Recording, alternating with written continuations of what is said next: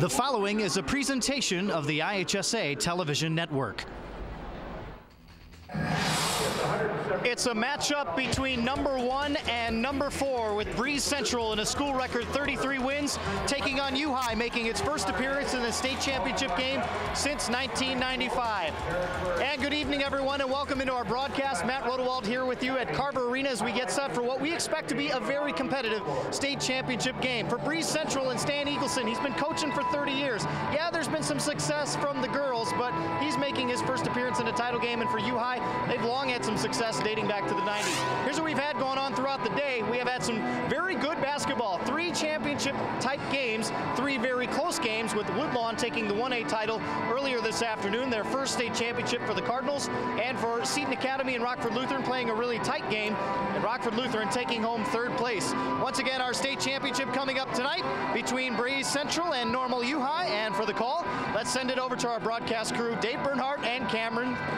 Gentlemen, Thank you very much, Matt. And it's that time of the year, the final week of the season here for Class 2A teams. Now, if you followed on IHSA.org, you've been able to see all the statistics, the offensive statistics for these two teams. U High along with Breese Central. Defense, not so much. You have to see them in person. We did last night. You did right here. And what you saw was Breese Central. Their defense as good as advertised. For U High, better than advertised. Yes, indeed. Well, Breese Central may lack size, but they make it up with tenacious defense, Dave. Now, their defensive rotations and also their basketball IQ allows them to protect their rim very effectively. Now, U High, as you mentioned, they're one of the better defensive teams in Class 2A, and they proved that last night after defeating Rockford Lutheran. They stopped Rockford Lutheran on their final two possessions of the game to get that win. Now, the Pioneers need to protect the basketball to win this championship tonight.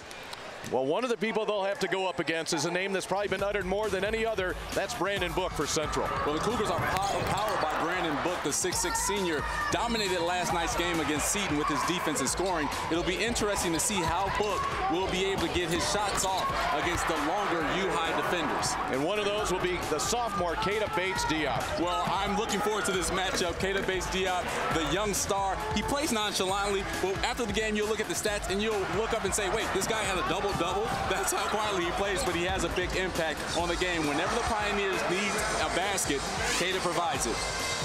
Here's how U-High got here. It's not a long trip up I-74 to actually get to Carver Arena. The key ball game there, the super sectional against Teutopolis, when the Pioneers came from 18 points down early in the fourth quarter and hung on for the 60 to 59 win. And of course, last night it was the win over Rockford Lutheran 55-52. For Breese Central, they had an emotional win in the super sectional over Harrisburg, 37-30 score.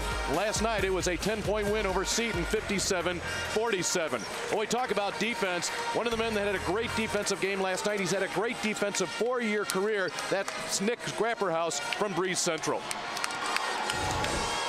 It all feels good when you hold uh, one of the team's best scores to you know under 10 points or whatever. And uh, I've I've known since freshman year that if I want to play for the Cougars, I gotta gotta take pride in my defense. And Coach Eagleson's always stressed that. So it's always been uh, my main focus. If you can if you can play defense, you're gonna be able to play basketball no matter what you can do on offense.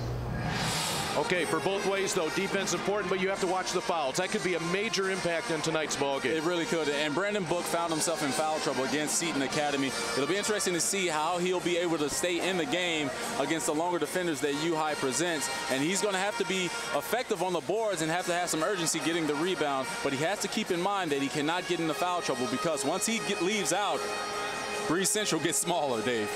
1995, that's when U-High won a state championship under Cal Hubbard. First time for Breese Central in the title game. Let's get things started. Let's go to Paul Herzog, our public address announcer here at Carver Arena. Good evening, basketball fans. On behalf of the Illinois High School Association and the City of Peoria, welcome to Carver Arena for America's Original March Madness. Tonight's Class 2A championship game for 2012 features the Normal University Pioneers at 28 and 4 and the Breese Central Cougars at 33 and 1. And now to honor America.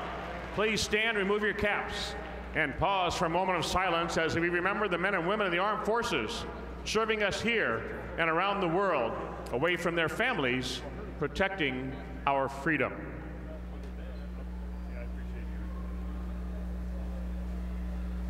Thank you as we thank them.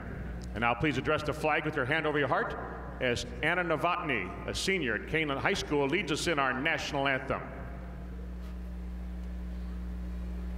Oh, say, can you see by the dawn's early light what so proudly we hailed at the twilight's last gleaming, whose broad stripes and bright stars through the perilous fight o'er the ramparts we watched were so gallantly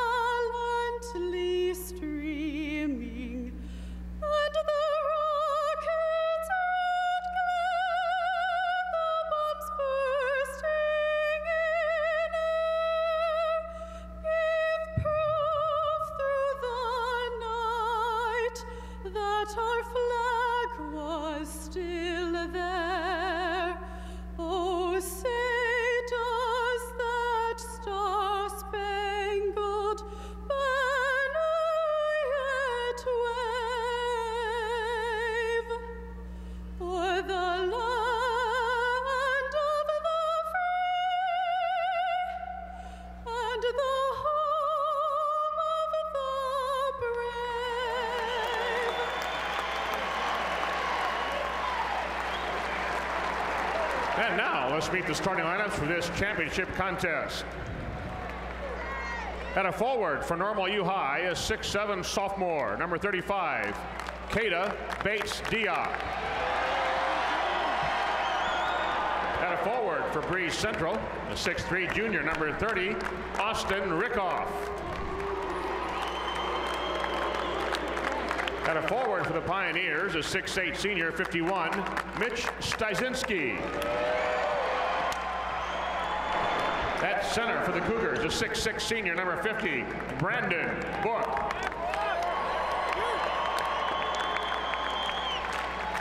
At center for Normal U High, a 6'8 senior, number 55, Bryn Agnew. At a guard for Breese Central, a six-foot sophomore, number 11, Jacob Timmerman.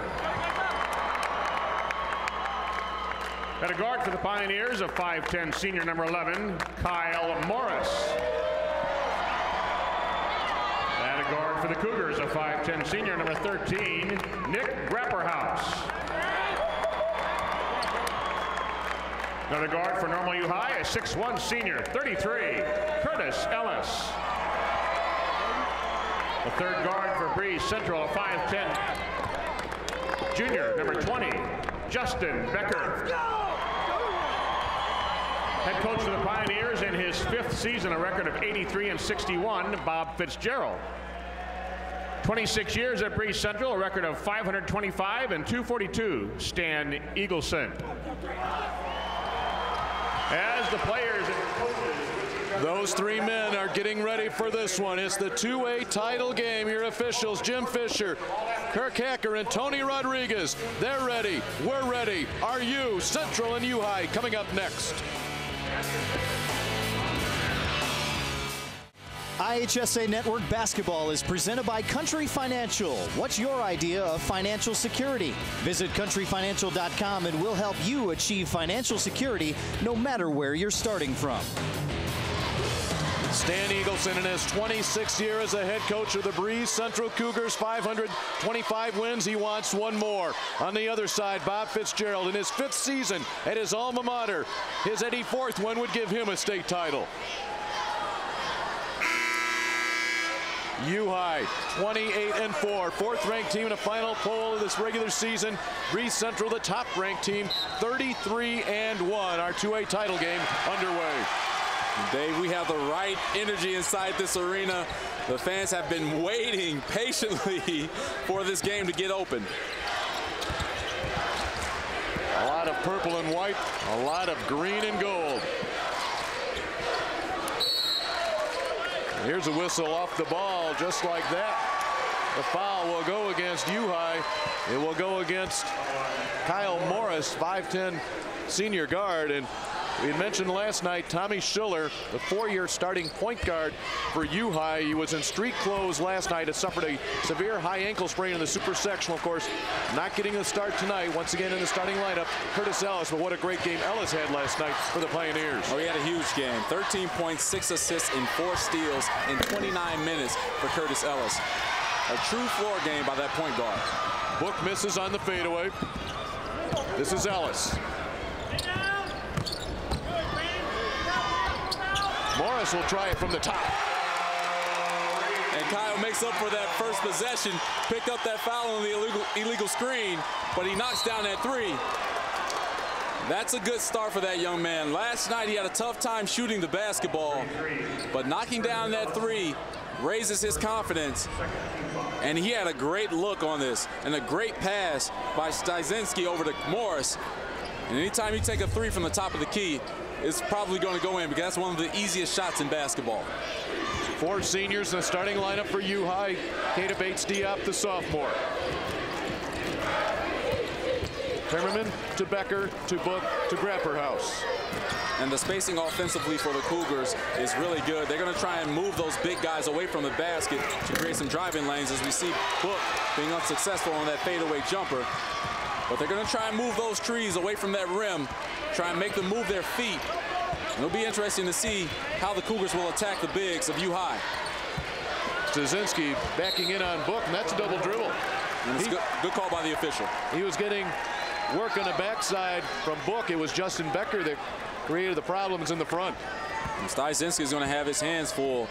Brandon Book is going to be defending him in the post because Brandon's not going to give up an inch. He's a pretty strong kid. They go to Book again.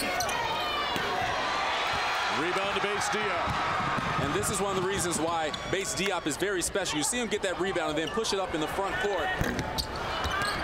But he has so many dimensions to his game to be a sophomore in high school.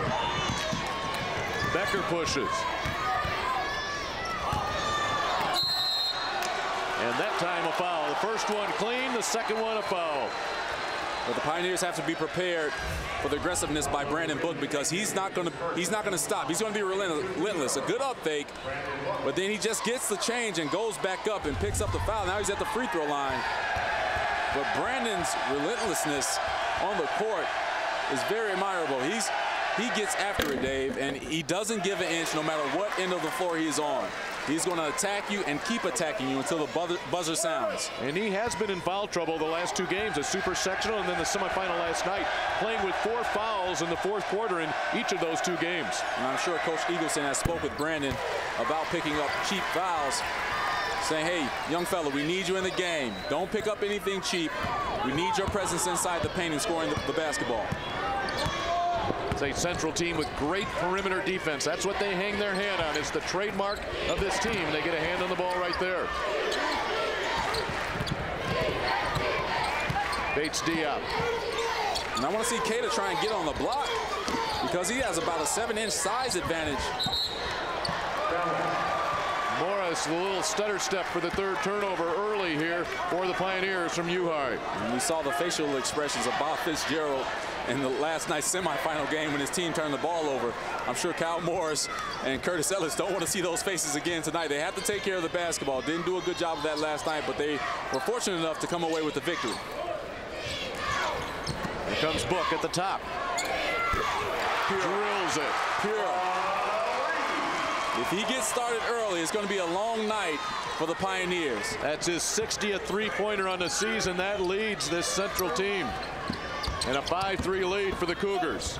Bates Diop answers. And the two stars of tonight's game, Bates Diop and Brandon Book, going back and forth at each other. But it's so amazing to me that your center for Breese Central is shooting over 40% from three. That is amazing. Rapperhouse with it a big game last night. He had 15 points. Book Nice pass. pass inside to Rickoff. And a great job by Breese Central moving the basketball quickly, not over dribbling, seeing where the, where the defenders are, making those big guys move their feet. 7 to 5 lead for Central.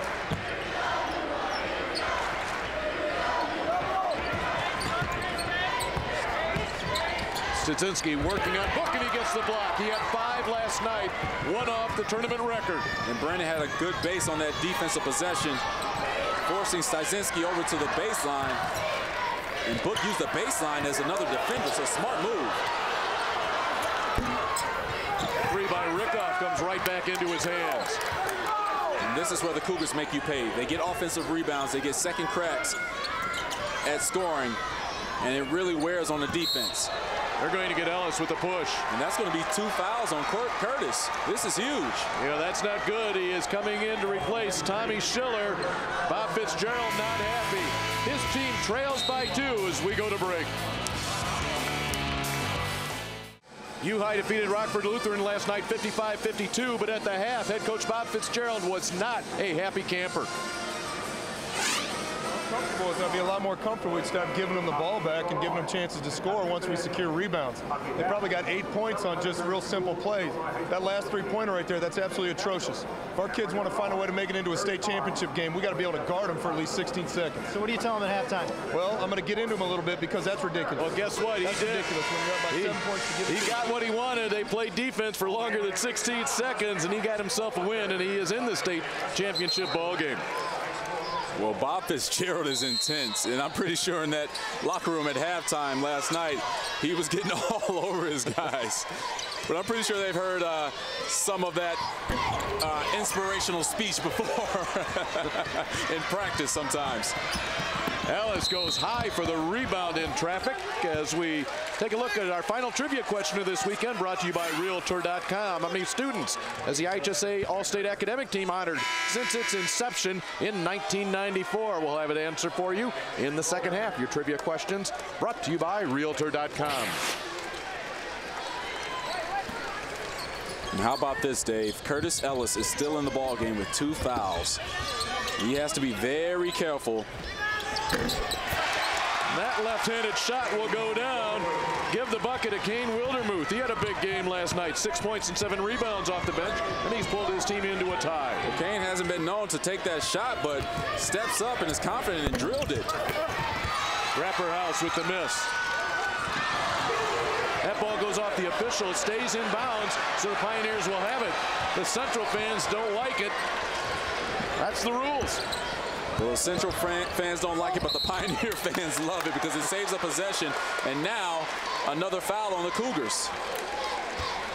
For all you officials in waiting, the officials are part of the floor right off the heel. What a break. I'm sure Stan Eagleson is saying, what are you doing? You have to hustle up the court. You got to get up quicker than that. You're costing us possessions, ref. Kane Wildermuth at the line. His twin brother also in the ball game right now, wearing number 23 for U High, Malik Wildermuth. They are a pair of sophomores. Kane at 6'6". Malik, there he is. A little bit different hairstyle than his twin brother. He is 6'5". But Kane misses both. Central tonight, two of eight from the floor. Brandon Book, a slow start, just one of five. That was a three-pointer, however. Tough defensive play by Tommy Schiller. You can see why he's so valuable for this Pioneers team because he just knows little intricacies of basketball and spacing. So Schiller off the bench, big brace on his ankle. But the four-year starter at senior will run the show. He has it now. He won't score that much, but he gets it to the right man. He gets it to Nick Schroeder just in off the bench. And he's inspiring the Pioneers right now. A little razzle-dazzle on that killer crossover and feeding his teammate for the bucket. Look at this. Malik Wildermuth. Schiller. Finds Schroeder. Here's Grapperhaus.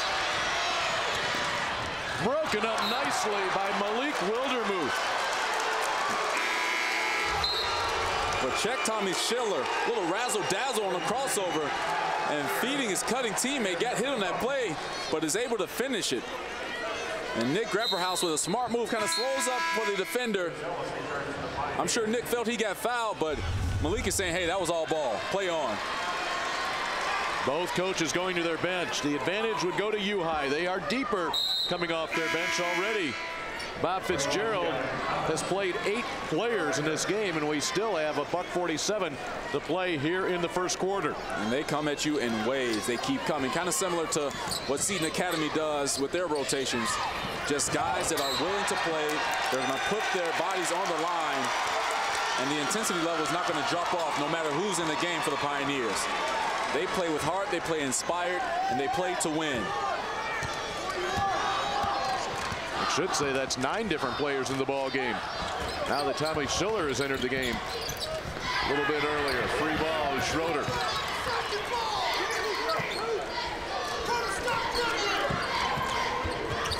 Schiller with the move with the bad ankle. Rebound, Tyler Steer and a tie-up. Well, how about Malik Wildermuth in this first quarter? Now, the Pioneers don't get the possession off, off the jump ball, but the next jump ball, they will get it. So that's an inspiring play. That helps your team get into this game even more.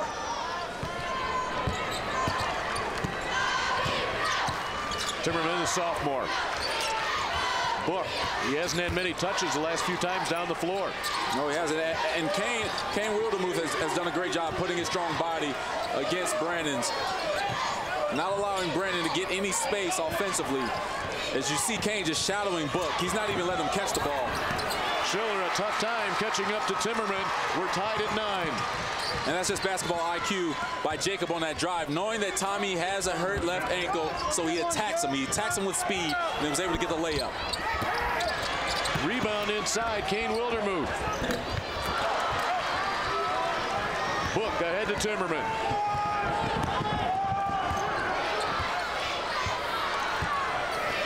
Cougars going to hold for the last shot here. I'll bet you number 50 ends up touching it somewhere oh, along the way. You have to watch out for him because you know he's going to try and get around that three-point arc. He loves to fade away on his shots. Looking for a five count, and he got it. Tommy Schiller, Mr. Inspiration, comes back. He was beat on the last play defensively by Jacob Timmerman. Then he takes it upon himself to, to challenge himself and to, to challenge Jacob. Gets the five-second call, gets the possession for his team. 11.4 left in this first quarter. The Pioneers need a good possession if they want to take the lead. Turnovers evened up at three. Schiller crosses half court with 10. Wildermuth. With two, with one. He rises, partially blocked. We've played one. You don't get any closer. Number one versus number four. 9-9 U-High and Central.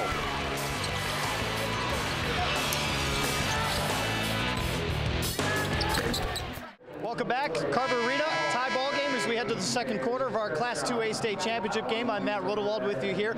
You know, one thing to think about when you were thinking about Breese Central being here this evening, you know, they almost have to apologize for their win. At least some of their fans do. One fan in particular told a newspaper that it's bittersweet to have beaten Harrisburg to get to this point, a seven-point win at SIU on Tuesday. And a lot of it has to do with the ordeal that's been going on in Harrisburg following the tornado about 10 days ago that killed multiple people and ruined thousands of people's lives by tearing up homes. And the Breese Central kids, along with others, have raised a lot of money and donated a lot to charity in result of, as a result of everything that's going on. For Breese Central and the students, they have raised $5,000. They did it before Tuesday. A lot of canned goods and a lot of other housing supplies, enough to fill a semi-truck, Dave and Cameron, and they were able to make that exchange before the game on Tuesday, a show of charity before the tournament continued on for Breese Central. You know, man, that's just yet another example of the youth of America that so often gets beat down, Yes. how they pull together, and that so much good comes out of tragedy. Yes, you, uh, you're stronger with, with numbers, and you're stronger together.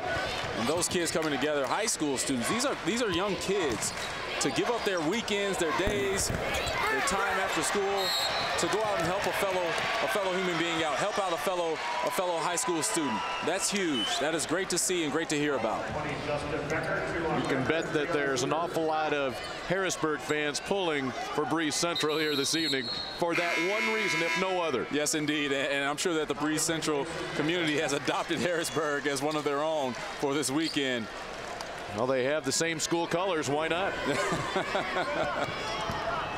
Matt Rodewald, Cameron Smith, former guard at Southern Illinois University. I'm Dave Bernhard. You've picked a good one here tonight, your 2A championship from Peoria. Tommy Schiller, he has the ball. He did not even dress last night. Keita Bates Diop on the miss. May have been a push inside. And they will get number 55, Bryn Agnew. Agnew, a three-year starter, his second foul. We'll keep an eye on those fouls inside because that could certainly prove to be a difference in this ball game as Brandon Book, the lone big man for Central, have to battle Szynski, Agnew, Bates Diop, a couple of Wildermuths. He's going to shoot the three.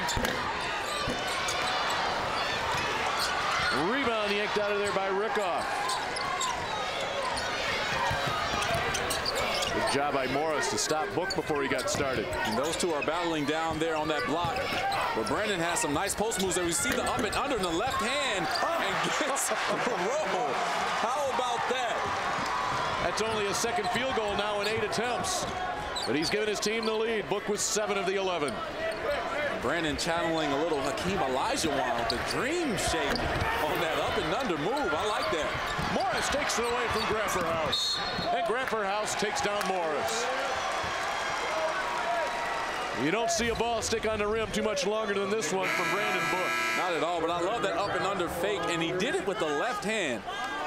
Brandon must know these rims because he's hitting the right spots to get these buckets to go in.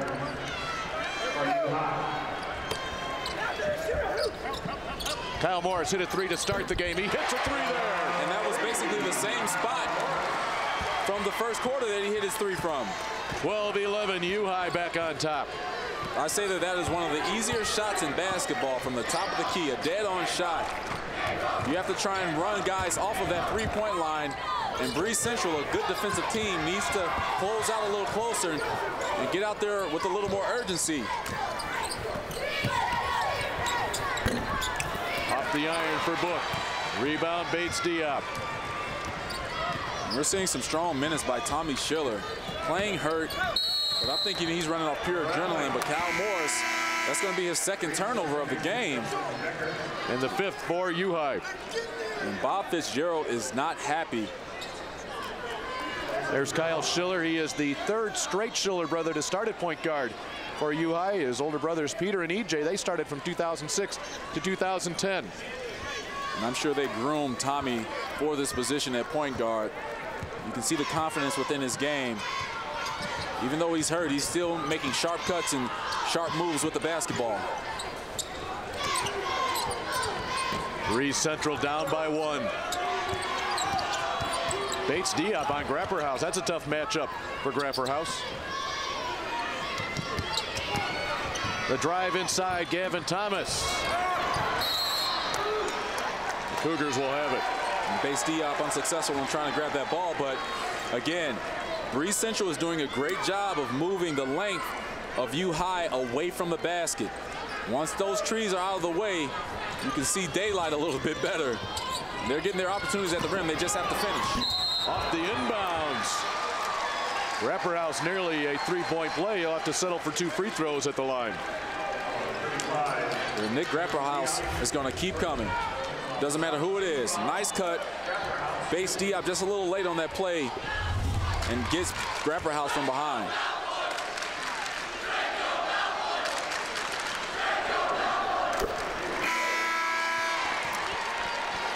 We're tied at 12. 5-14 here in the first half, and fresh bodies coming in. Austin Rickoff will check back in. He will replace Gavin Thomas.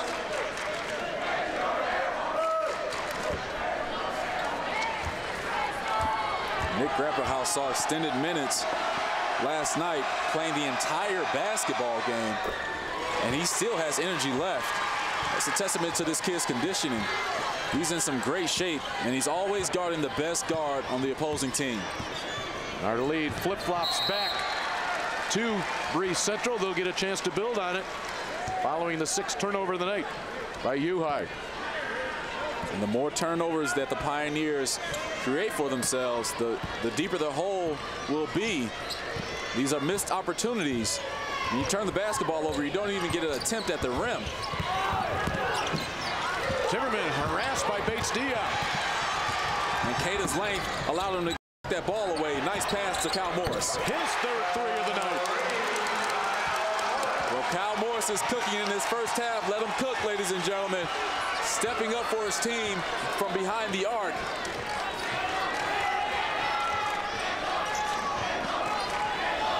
We trade leads once again, 15-13. Book the touch inside. They push him out. He returns to Rickoff. And that was a nice catch and move by Rickoff. Caught it, drove left, saw the defender sh shading over, went past him and laid it up on the left-hand side. That's a crafty move. We've hit the midpoint of the second quarter. Morris back to Diop. This game is settled into a half-court game. Ellis off the screen.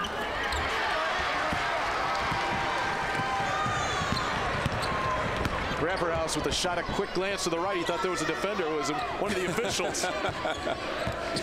Nick is just trying to be careful. Yep, Doesn't want to turn that basketball over. you are on high alert in the state championship game. He knows how valuable possessions are in championship games.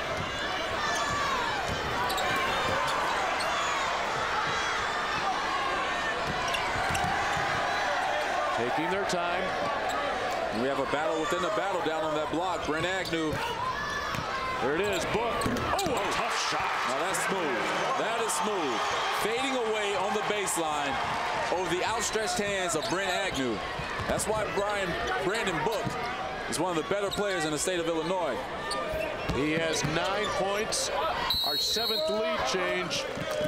And a foul. Keita Bates Diop will head to the free throw line. And some people may say, hey, well, Brandon's not playing against any real competition. I don't care what any co competition he plays against. This kid can play.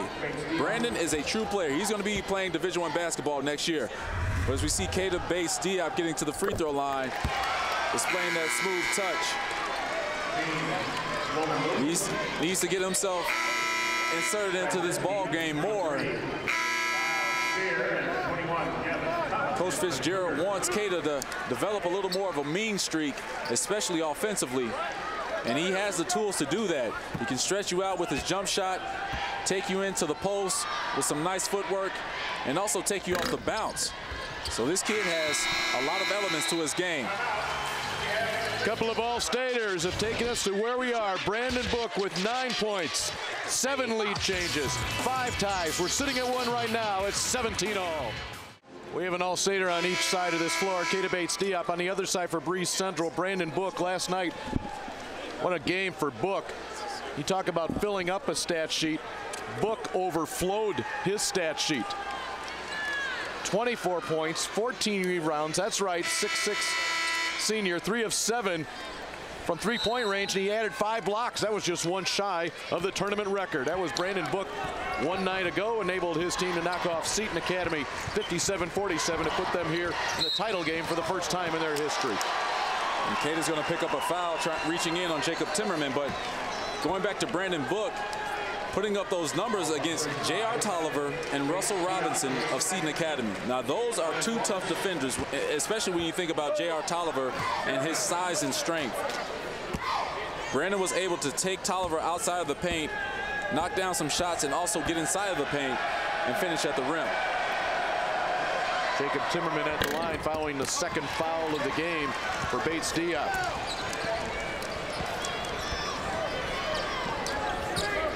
Also playing with two fouls, Curtis Ellis for U-High. Kane Wildermuth inside with the left hand, nicely done. That's a strong move by Kane, splitting through the trap, down in the block. And he's really having a big first half for this team. Coming off the bench, knows his role, knows what he needs to do, and he's doing more than that. And we have two guys tied up down low. My, oh my. And that'll be a double foul. Kane Wildermuth along with Kyler Shear. And I, I like the call by the official. I like it because both guys have each other. Now we see Kyler trying to get position, but from the looks of it, both of them have each other. And as an official, you don't want to put the blame just on one guy. Just give it, just give them both the, the foul. Say, hey guys, knock it off. And that's how it will go. Stan Eagleson will run a few more players in the ball game. Book will come back in. He'll be guarded by Kane Wildermuth. 19-17 lead for U High. And if you're U High, you have to be alert because Breese Central does a great job of running underneath out of bounds plays. Then the steal by Wildermuth. But a double dribble. He wanted to get it to his twin brother, and now they're talking to each other. Say, hey, Malik, where were you? I needed you. You're supposed to be my twin brother. You're supposed to know what I'm about to do. that was a good moment right there.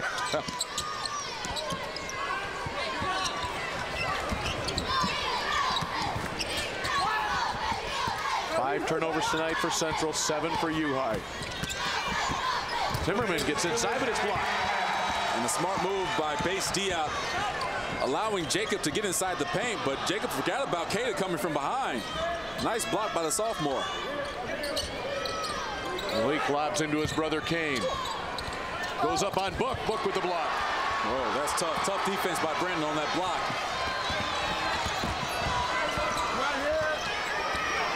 And now the Cougars a chance to tie. The Central fans do not like the battle that's going on inside. Not at all. Because Kane Wildermuth is, is throwing Brandon Book around. He's not gonna making it easy for him. So Book steps out. Can't get that one. But the physical play by the bigs of U High affects Brandon.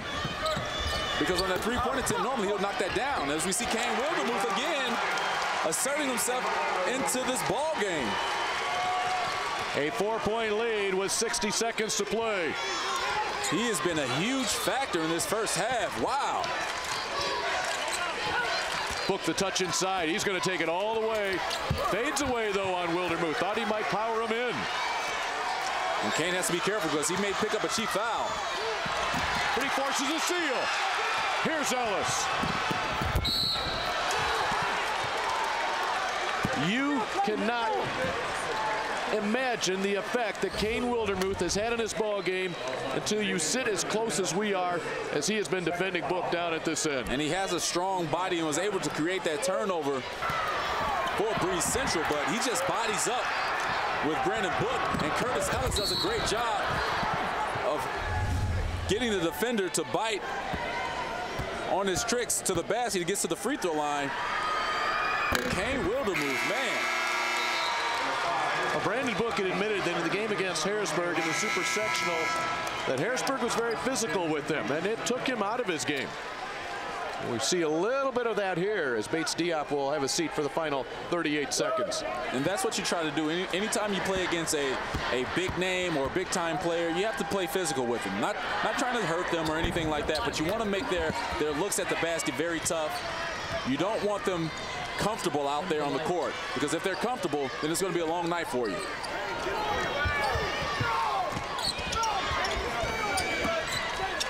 Coach Fitzgerald is yelling at Kane saying, stay on Brandon's hip. Don't go around screens. You can't give Brandon an inch because if he sees that ball go through the rim, he's going to start getting it going. Book hit a big three at the buzzer at the half last night against Seton. Will he get the touch here? Grapperhaus with four.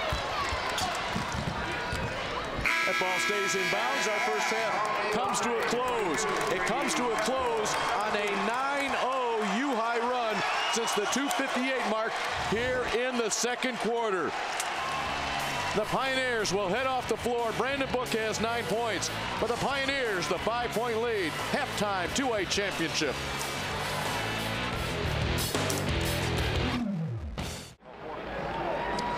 Been an entertaining day here at Carver Arena. We've had three good games, technically three and a half, as we are at halftime of the Class 2A State Championship. And now for our Class 2A third place and fourth place presentation, we send it to the public address announcer, Paul Herzog, for the ceremony. Thank you, Matt. Ladies and gentlemen, we direct your attention to midcourt for the third and fourth place team and individual awards for the 2012 Class 2A Illinois High School Association State Basketball Tournament. Presenting medallions will be members of the Illinois High School Association Board of Directors attending this game, and they are Dr. Michael Gardner, Frankfort Lincoln Way North, Division 3. James Boyd, Port Byron Riverdale, Division 4. Ron Connor, Clinton, Division 5. Dr. Chuck Nagel, East Peoria, Division 6. Jim Woodward, Anna Jonesboro, Division 7. Greg Bradley, Mount Zion, the treasurer, and the governor of the state of Illinois, Patrick Quinn. At this time, please meet the Sting of South Holland Seton Academy, who finished fourth in 2012 with a record of 28 and 6. Dr. Mike Gardner will assist Patrick Quinn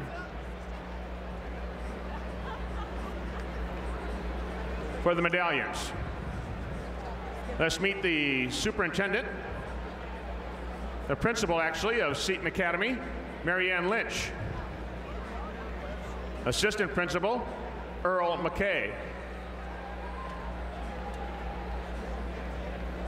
Athletic director, Dion Tolliver. Head coach, Brandon Thomas. Assistant coach, Mark Weems, Sr. Assistant coach, Arthur Kimber, Sr.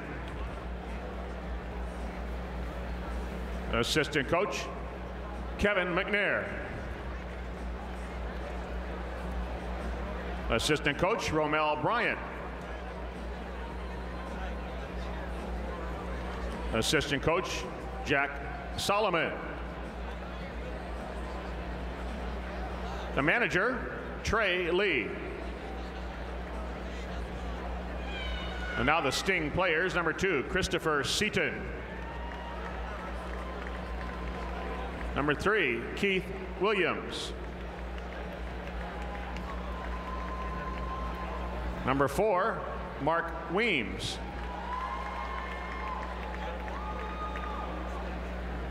Number five, Damian Evans. Number 10, Jordan Foster. Number 11, Curtis Cross. 21, Armin Mooring. 22, Damone Goodlow. 23, Kamal Chassis. 24, Brandon Woods. 25, Sylvester Tolliver.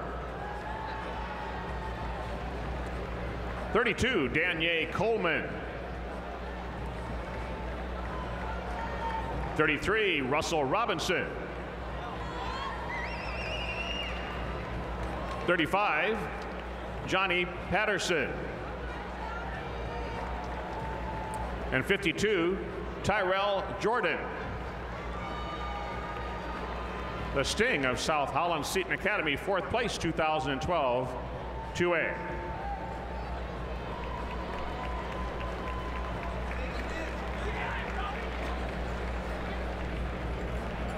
Assisting the governor in these medallions will be Dr. Chuck Nagel and James Boyd.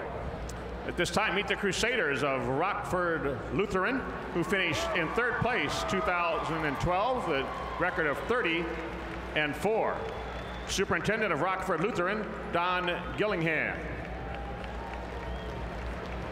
Athletic Director, Gary Griffin. Athletic Trainer, Brad Bauman.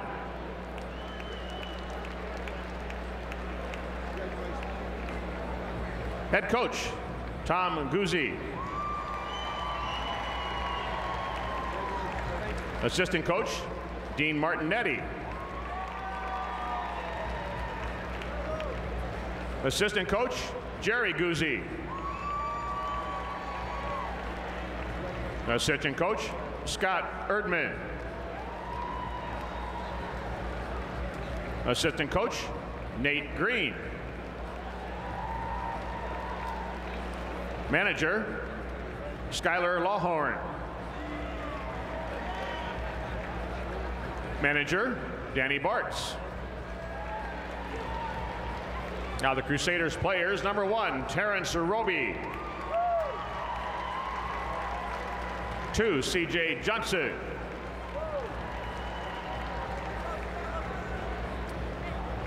Three, Derek Seiler.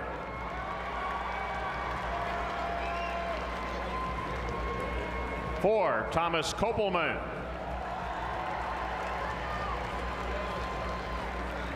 Five, Joe Kellen. Number 10, Luke Kohler. Number 11, Alex Oates.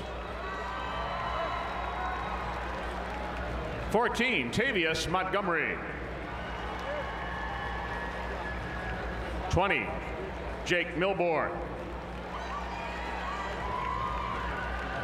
21, Matt Eikenberry.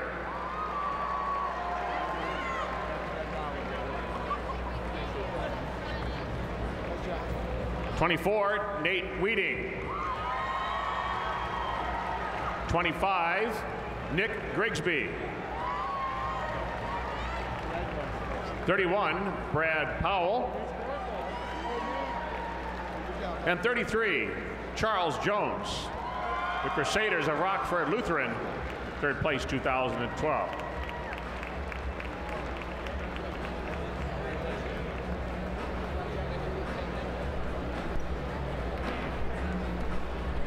Now ah, will Coach Thomas and the captains of South Holland Seton Academy accept the fourth place trophy from Governor Quinn.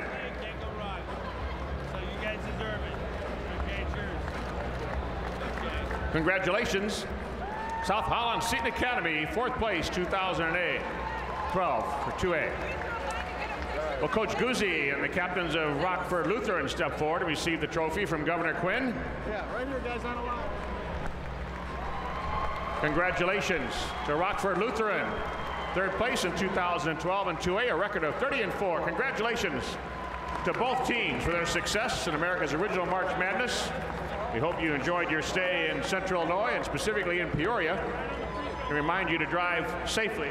And for the Seton Sting, a state champ in 2009, taking home the trophy today in fourth place in Rockford Lutheran for Tom Guzzi. Finally gets a trophy. He played on the Elite Eight team in 1991, then 21 years later, takes home the trophy in third place. We have first and second to decide still. A very good game. Our fourth good game of the day. U High with a five-point lead. The Pioneers and the Cougars. We'll talk to both coaches coming up here on the IHSA Television Network. IHSA Network Halftime is presented by Realtor.com. Realtor.com's real estate search app makes researching neighborhoods and finding homes for sale easy. Download it for your smartphone in your market or at Realtor.com slash mobile.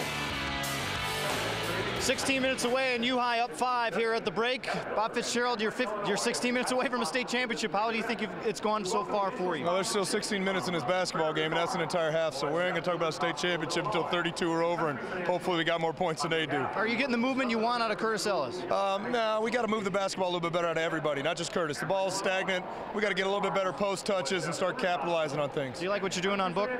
Uh, yeah, I do. I think we're making them take hard shots, and if we can keep doing that and rebounding, I think we'll, we'll have a chance. Okay, Coach, good luck. Thanks, guys. Head coach Bob Fitzgerald, who is a little more better mood tonight than last night, but you can understand why. His team's leading, up five, and doing well so far in the state championship. Welcome back to Carver Arena. Glad to have you with us here. It's a five-point difference. U High on top of Central, 22-17. Along with Matt Rodewald, my partner Cameron Smith, I'm Dave Bernhardt. It's been exactly the type of game you would expect. We'll take a look at the statistics. Pretty well evenly matched here, as you would suspect, other than that shooting number there for the field goal percentage for Breese Central. It's been a very tough defensive ball game. Rebounds even, that's a big one as far as these two teams are concerned. Well, let me let you in on a little bit inside of television. What we do prior to a ball game is we sit down, we talk about which players we'd like to feature in our open. Well, no offense to this young man, but I think we would have had to gone down quite a big list before we would have come to Kane Wildermuth, yet he's been the difference in his first half. Yes, he's been a huge difference in that first half. Off of the bench, six points, five rebounds, and two steals. He's making life for Brandon Book very tough on the offensive end of the floor. Book has had to earn every one of those nine points. But for Breese, they have struggled at times offensively this year spreading the floor. Is that good enough for them here? It's good enough for them, but they have to do a better job of finishing. They shot 28% from the field in that first half, 6 of 21 of their shots, but they're doing a great job of moving those trees, the trees I call the U-High defenders because they're so tall and long. They're moving them away from the rim and getting good driving lanes. They're just not finishing. They have to do better in the second half to win this game. Not since 1995 has U-High been able to claim a boys state basketball championship. Breese Central, they do not have that first place trophy. They're looking for it as well. A five-point difference at the half. Five-point deficit facing Breese Central here with head coach Stan Eagleson, Brandon Book with nine points to lead the way, but three of 12. Those are some tough shots he's taking. Yeah, you know, forced some things, some of the shots, even some of the shots he made were too tough of shots. We got to get into a better flow offensively. Um, he's just trying to do a little too much, I think. He needs to depend on his teammates a little more. If it continues like this and he can't get clean looks, where do you look for your offense? Well, we look first of all to Grapperhaus and then to uh, Rickoff, and, and Jacob Timmerman's got to score a little more for us too. I think we'll be better this half. That was that was a pretty poor offensive half, and hopefully uh, we'll make some corrections. Okay, very good. Good luck in the second half, Coach. Stan Eagleson, a little more confident about what his guys are going to do heading into the second half. Dave, we'll send it to you. Well, Stan Eagleson may have glanced and he probably would have felt it rather than just look at the numbers, but in the last seven possessions for Central in the first half, five missed field goals and two turnovers. That's one of the reasons that UI was able to go on a 9-0 run. We've had six ties and eight lead changes, and we are 16 minutes away, possibly more, to a state champion. Remember, this is just the third weekend out of four. We'll be right back here next week. It will be Class 3A and 4A. A lot of the favorites still alive. There could be some amazing matchups right here on this Carver Arena floor. Be sure you join us either in Peoria in person or how you're watching the game right now on the IHSA television network. Well, March is the greatest month of basketball. You're talking high school basketball, college, and also in the NBA. But in March, high school rules because these kids give it their all. It's not about money or contracts or sneaker contracts. They're playing for the love of, their, of the game and also for their schools. And here in Illinois, it's America's original March Madness. Second half underway. Timmerman looking to score. Diop says, uh-uh, not in my house. Well, Keita owning that paint, and he did a little bit, a little bit of this in the first half, just allowing Jacob Timmerman, Timmerman to think that he has an open layup, and then boom, Keita comes with a big block. Those long arms have been effective on defending Jacob Timmerman. Diop got a little bit of a ball, but also some arm as Book's on opening and look to take advantage. He'll look to go into double figures here with two free throws. And I like that drive by Brandon Book. Didn't settle for the jumper, attacking the basket. I'm sure he and Coach Stan Eagleson talked about that during halftime, wanting him to get to the basket more and not just settle for jump shots. Book an 85% free throw shooter. Four-year starter, the All-Stater. Many people say the best player in Southern Illinois, regardless of class. He has 11, first two points of the half scored by Central. We have a three-point game. Coach Fitzgerald wants more ball movement out of his Pioneers. So let's see what kind of sets that they run to uh, allow the ball to be moved effectively. But they do a great job of screen screening away. They love to set those stagger screens when the ball's on the opposite side of the floor to try and free up a shooter or to get a driving lane. Well, there's a shooter tonight. Kyle Morris had been three for three from three-point range before that miss. That will be a foul on Justin Becker.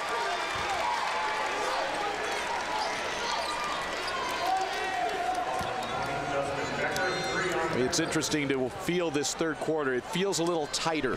You know, both teams, I know we've had only had a couple of possessions, but it just doesn't have that same level of energy or fluidness that we had. Because the players know what's at stake.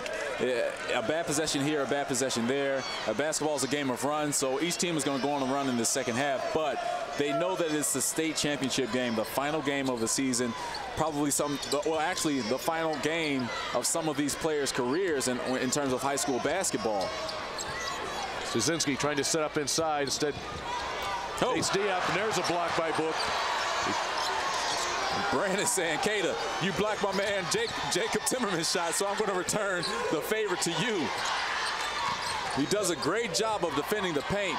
Styczynski with the reverse. And, and, as I say that, Mitch says, hey, Cameron, relax a little bit.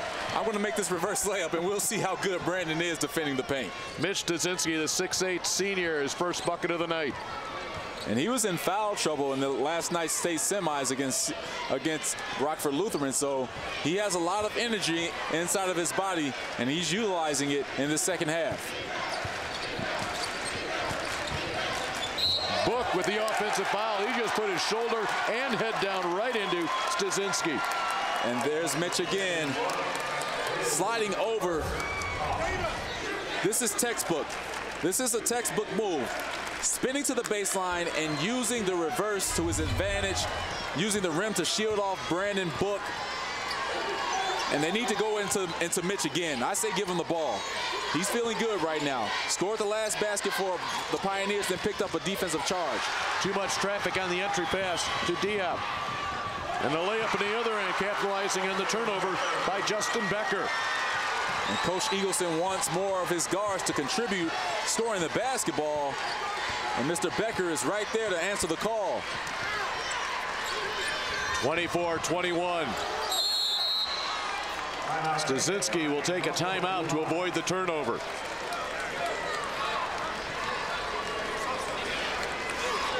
We wrap up our Realtor.com trivia question. This is the question we asked you in our first half. How many students has the IHSA All-State Academic Team honored since its inception in 1994? Well, we gave you a little bit of leeway here. Over 400 students and $375,000 in scholarship money has been awarded since its inception. Our trivia questions here in our four weekends of basketball on the IHSA TV network brought to you by Realtor.com. With Matt Rodewald and Cameron Smith, I'm Dave Bernhard this will stay low scoring. Both yes. teams are comfortable with that. They're okay. It's just a matter, matter of fighting through what they need to do. Exactly, and you have to be tough uh, mentally in this type of game because both teams are, are defensively tough. You're not going to get anything easy, but when you get your opportunity, you have to take advantage of it. Whether it's an open layup or an open three, you have to make sure that you're being confident in taking those shots. Because of that timeout by Styczynski. U has just two left here in the state finals. Each team gets three timeouts. Kane Wildermuth in the ball game. He handles the ball now. And I like the move by Coach Fitzgerald putting Kane back into the game because he has a big body. He's done a good job of scoring on the block. They need to give him the ball right now. He wants it. He gets it. But the spacing by the Pioneers is not good is too cramped in that area. And Breese Central is doing a good job of packing in the paint. As you see Brandon Book, he's just spying Kane Wildermuth if Kane gets the ball. He's coming for the help. Wildermuth, he's going to go fade away. Tip follow attempt by Styczynski, no. Grapperhaus. Nice pass. Oh, rejected. Mitch Styczynski, he only had, he had the only block in last night's game against Seton and gets another block tonight. He's starting to become a force on the defensive end. In the first half, it was Kane Wildermuth. But Mitch Styczynski is answering the call defensively. He's done a great job. Looking to build on this three-point lead. Ellis. Book the rebound. A fourth rebound for Book. Last night he had 14.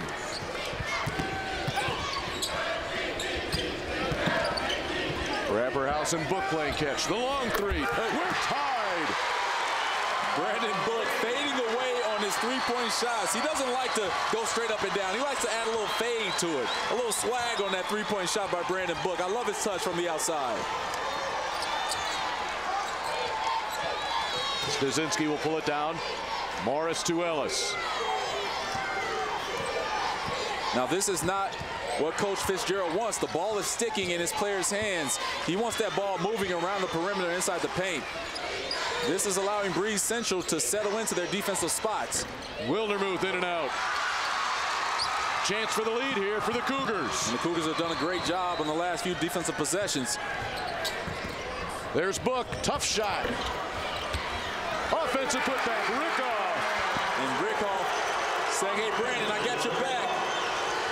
Stepping up in that power forward position and helping out his Cougar team. They have the lead right now. This is getting interesting, Dave. Morris battling Grapperhaus. We've had seven ties. That was the ninth lead change on the bucket by Rickoff. And two free throws as Kane Wildermuth battles hard inside. Kane has been effective on the offensive boards. He had two offensive boards in the first half, and he's just relentless on the glass. It's always tough to try and box out a guy that's very strong, especially in his upper body, but Kane is very strong in his lower body. And that's where you win a lot of your deep, a lot of your rebound battles. It starts with your base and your positioning with your legs. If you have a wide base and a strong base, get up quickly off your feet. Nine times out of 10, you're going to win those defensive battles. Wildermuth has missed all three of his free throw attempts tonight. He's missed four.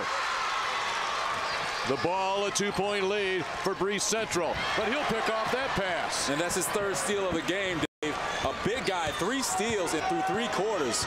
Wow. Now Tommy Schiller back in the ball game. A whistle off the ball, and this may go against Kane Wildermuth. And he's Kane slid over, trying to set the pick, but he called for that foul. It's been a run here, fueled by that three from Brandon Book. We'll head to break. 26-24 Cougars. Breese Central fueled by their all-stater Brandon Book. That's what he's done tonight. Several different ways. And he's had a tough go at it offensively, but he has displayed some nice offensive moves fading away, and also he can do a little bit of that too, block some shots, and he's gonna erase Keita Bates shot attempt, and he loves to fade away on those three-point shots. There is a comparison the span of 24 hours. 24-14 3 of 7 from 3 and tonight 14 and 5 he's 2 of 5 from three-point range. And I've been waiting to see how he'll handle his shot attempts over the long arms of the Pioneer players. He struggled at times tonight but in other times he's been very successful. Now here's a whistle off the ball. And that's going to be against Wildermuth. The officials really watching how physical this game is getting right now. Third foul on Kane Wildermuth. I talked about in that first half about how making star players earn their points, but Kane just a little too physical. And actually, they're going to call Brandon Book for the offensive foul, pushing off against Kane. Wow. Well, U-High will get the ball. And they've been struggling here in the third quarter. Just one of seven from the field, and they've missed their only two free throw attempts. That's one of the reasons they trail here by two. Well, it's one thing that Coach Fitzgerald doesn't like. He doesn't like the ball sticking, they haven't done a great job of moving the ball in their offensive sets.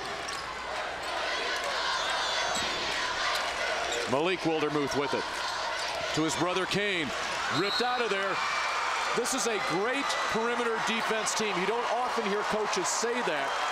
But you saw the strip right there. It leads to the U-High foul. Well, they have each other's backs. These guards, Jacob Timmerman, Nick Grapperhaus, and Justin Becker do a great job of helping each other out defensively. As you see Timmerman and Justin Becker just getting in there, getting their hands on the basketball and creating that turnover. And that is the fourth personal foul against Kane Wildermuth.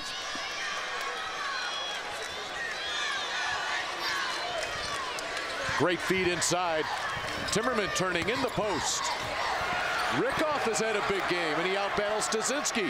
Book, got it! Big time shot, Brandon Book. Hitting that three, and an even better job by Rickoff getting the offensive rebound and finding Book, who squared up and knocked down that three. 17 points for Brandon Book. Looking to answer the other way is Schroeder, he will shoot three. And Nick Schroeder got some daylight on that play. As we see, Rickoff is going to get this offensive rebound. He does a great job. He's really underrated at this aspect of his game. He gets offensive rebounds and finds Book, who loves to shoot from the wings. He loves the wings, whether it's the left or the right wing. But Nick Schroeder lives behind that three-point arc. And a bad closeout by the Cougars, making contact with Schroeder in the air when he was releasing that ball. Boy, this is what they need right now. They've been struggling from the field. It's been tough to get a shot off. Get things settled down, get yourself three free throws. Yes, get to the free throw line, make things easier on yourself. But Nick Schroeder unsuccessful on that attempt. But it allows you to calm down going to the free throw line. It allows you to set your defense and get things going for your team. Two of three for Schroeder. 29-26. Minute and a half to play in the third. Timmerman drive. accelerates. And I like that drive by Jacob Timmerman, and I, I like the ball screen by Brandon Book, setting that on Tommy Schiller. He's playing hurt with that left ankle. And Bob Fitzgerald is going to get Tommy out of this game because he understands that he needs to have a quicker guard against Jacob Timmerman. 15 foul on U High. Central with four. And actually, Curtis Ellis is going to come in for Bates Diop, and Tommy Schiller is going to stay. So we'll see how Jacob Timmerman attacks Schiller on the offensive end. Malik Wildermuth pulls down Timmerman.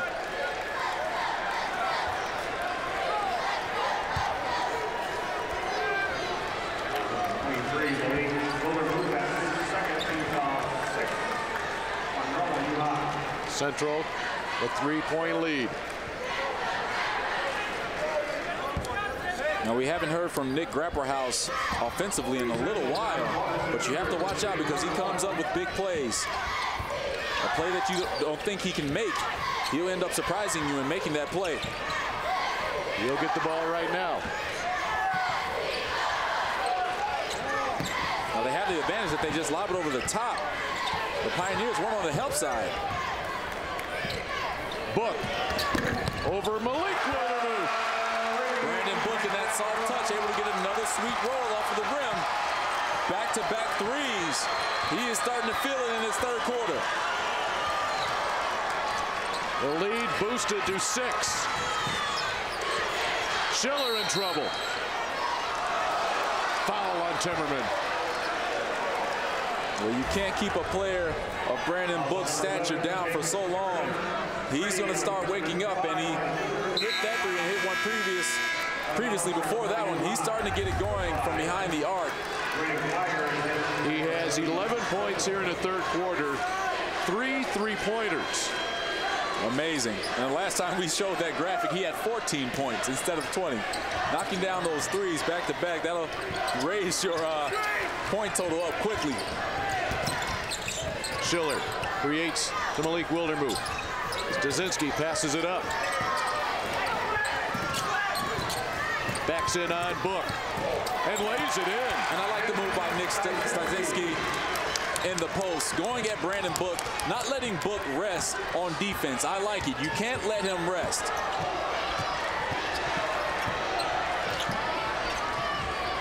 Final 10 seconds from the free throw line. And that's a heady play. Heady play by Book. Smart play. He faked the handoff. Malik Wildermuth went for it, and Brandon saw his advantage. The only thing that Malik could do on that play was to foul Brandon. That was the only way he could stop him. But it sends Brandon to the line where he shoots over 80%. Perfect in five attempts tonight.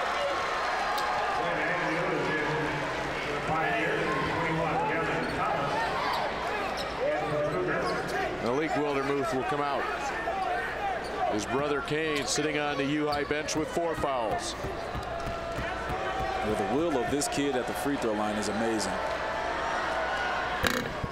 Doesn't lack confidence. Had a tough first half, even though he's scoring the ball. But he knows he can get his shot off anytime he wants. Schiller gets it off. Follow, no. We will head to the fourth quarter. A six-point difference. A 10-4 run to close the quarter by Central, eight minutes away from a state championship. Entertaining championship game here, Class 2A, as Breese Central is surged in front thanks to 22 points from Brandon Book and four three-pointers. We got the split screen up. That means celebration information time. So if you're over Normal, if you're down in Breese, watching us tonight, couldn't make it over here. Breese kids, they'll be celebrating at 2 o'clock with a parade to town first, and then the celebration at 2 o'clock at the school, just like the girls did a couple of weeks back. And for U High, they'll be celebrating at 12:30, 1 o'clock, somewhere in there. And they'll be doing so even though the kids are on spring break. So they're going to make them come all the way back into school on spring break on a Sunday. But it's for a good cause. That's all right. That's all right. Thanks, Matt. Big third quarter for Central, outscoring U High 17-6. And they did it because they made five of nine of their free throw or field goal attempts, all four of their free throws. UI struggled, making only two of nine from the floor, two of five from the line. And that 22% is hurting the Pioneers.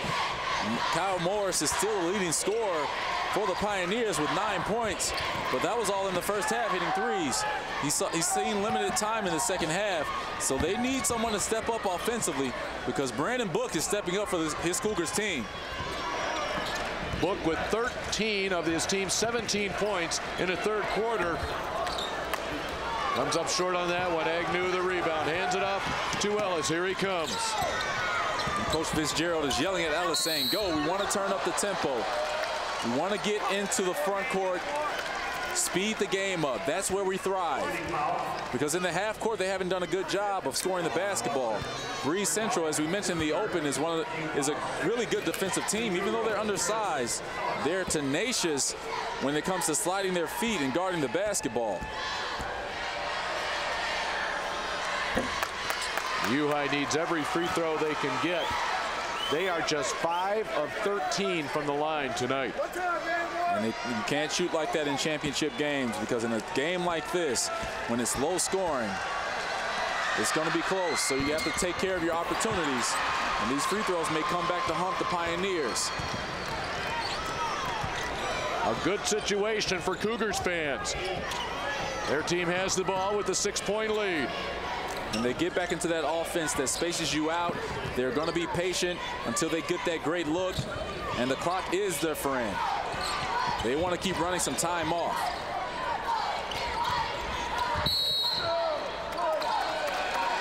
Styczynski goes down. The whistle blows. The foul will go on Book. His third. Well, Brandon has done a good job of staying out of foul trouble in this game so far. In that super sectional game, he had four fouls, but he had to play through it. Last night he had four fouls, was subbed out in little spurts, but was, was able to stay in the game and still make an impact. Now they list Book with two fouls. So we'll go with the uh, official stats. Central fans don't like that whistle. Not at all. And I'll have to agree with him. It looked like they got all ball on that swipe. But we talked about the Pioneers' struggles offensively, and Keita Bates Diop has been non-existent. Now we talked. I, I, said in the open that he has a nonchalant game, and you don't know that he's really doing anything. But if you look in the stat book or on the stat sheet after the game, you'll say, "Hey, he had he had a double-double. Didn't even seem like it." Well, tonight, you don't even know he, that he's out there because he's not scoring the basketball. Defensively, he's not making an impact, and he's not rebounding at a high rate. So even though he's a sophomore, he's a young guy. I'm sure that Keita understands that he has to step up for his team. Well, he did in that super sectional. 12 of his 16 points coming in the fourth quarter. Remember, that's a fourth quarter that saw High come back from 18 points to win over Teutopolis. Free throw woes continue for the Pioneers. Six of 14. A thorn in their sides in the second half, especially well, and for the game. I'm sorry. Rickoff, and the call will be blocking on Malik Wildermuth. That's going to be interesting because I thought Malik had some nice space away from the rim taking that charge. I don't know. That's a tough call. Are the officials saying he was he was moving? It looked like he took it pretty clean to me.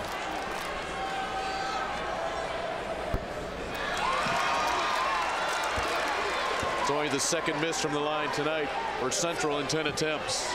How about those numbers for Austin? Six points, eight rebounds. And a few of those rebounds have been offensive rebounds. So he's another guy for this Cougars team that is underrated. You don't think he'll be effective on the boards, but he'll surprise you.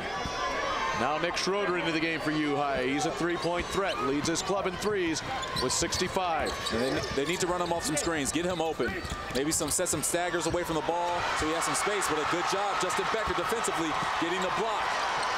Boy, he went right up there with Ellis. Now the challenge goes the other way. Nice pass. Becker inside to Shear. Kyle Shear cutting to the basket. Justin Becker finding his teammate head up, savvy, and patient on that play. An eight-point lead, the biggest of the night for Central. Timeout, High. Bob Fitzgerald could not wait for the under five-minute timeout. The feed inside, Kyler Shear, his first bucket of the night. And look at Justin Becker, head up, sees Kyler cutting, and Kyler does a great job of being strong and finishing at the rim. Smart play. It could have been an and one, but Kyler doesn't mind. He said, foul or no foul, I'm going to finish this basket. Associated All-State, Associated Press All-State teams announced earlier this week some familiar names we've been following our Class 4A tournament, specifically in this game. Up the top, Brandon Book, Keita Bates Diop, the only sophomore on the club. We saw Mark Weems in action for Seton Academy, the second team. Tanner Williams, Mark Niebrugge from Teutopolis. He came within a point of reaching Peoria. Aaron Larson, Paul Knapp, and Wes DeClerc. That's your Class 2A All-State first and second teams. A lot of talent on that li on those lists. Those players can play some basketball.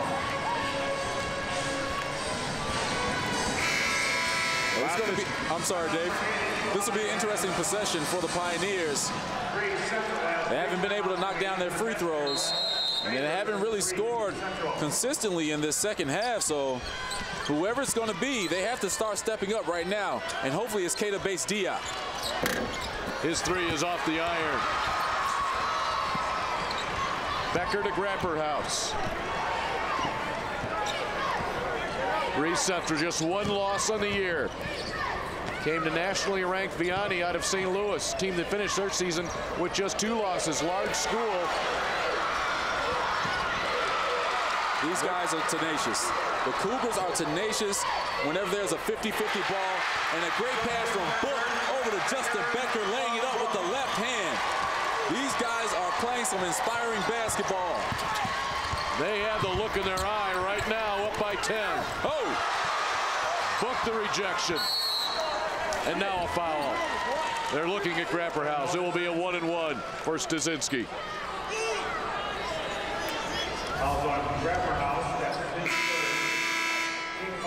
Justin Becker, free inside, gets the feed with the left hand for the 39-29 lead. And he was able to get that layup because of the spacing of the Cougars. They space you out so far and do a great job of sprinting on their cuts that it allows them to get free looks like that layup we've seen from Justin Becker. Mitch Styczynski, 66% free throw shooter. He will get another. 7 of 16 from the line. That's just 44%. Now, if Mitch can knock down this free throw, it'll allow the Pioneers to set their defense, and I'm pretty sure they're going to do a full-court press they need to turn up the tempo of this game. And they're in it. Looks like it's going to be a 1-2-2 press. We'll see that after this timeout. Brandon Book will head to the bench. He has 22 points. His team leads by eight, 439 away from a possible state title. Eight-point lead for Breese Central here in the uh, state championship game, Class 2A in the fourth quarter. Take a look at the Class 3A super sectional matchups that are coming up on Tuesday, and the winners of these matchups will be playing on Friday afternoon, starting at noon right here on your affiliates of the IHSA television network. East St. Louis and Springfield Lanphier, one of the favorites to get back here. Hillcrest, favorite to get down here. Peoria Central surviving a wild Peoria sectional. And North Chicago, can they return? The Warhawks trying to get back downstate. Should be a very competitive 3A section, super sectional. And for 4A, as you can see on the top left, Proviso East. On the bottom right, Simeon. The clash is still on course for those two, one versus two, Saturday night. We'll see if it happens. Thank you very much, Matt. We look forward to having everybody join us for that weekend of basketball. Becker gets a clear path on the baseline. Those are back-to-back layups by Justin Becker. The Pioneers defensive, defensively, their communication was very poor. No one knew who was guarding Justin Becker, and he got a free look. Stasinski wants it. Up on Book. And stepping on the baseline was Kyler Shear. And uh, defensively, th this can't happen. This can, if you want to win this game, this cannot happen. You can't allow Justin Becker to drive from the three-point line all the way to the rim, and no one even notice him. Shear comes out. Gavin Thomas comes in.